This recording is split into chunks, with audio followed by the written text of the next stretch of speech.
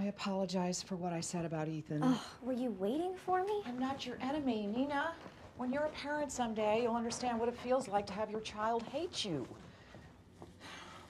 In case you're wondering, that's your cue to say, I don't hate you, Mom. I don't hate you. I just get furious thinking someone has hurt you. Don't think I'm crazy. This is just a thought, but uh, Toby's coming home for Thanksgiving. Oh my god. He's gotten very attractive. That's all I'm saying. He works for the Federal Trade Commission. Terrific.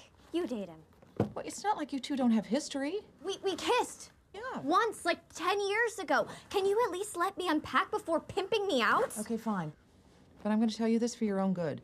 You need to have a real relationship with a real man.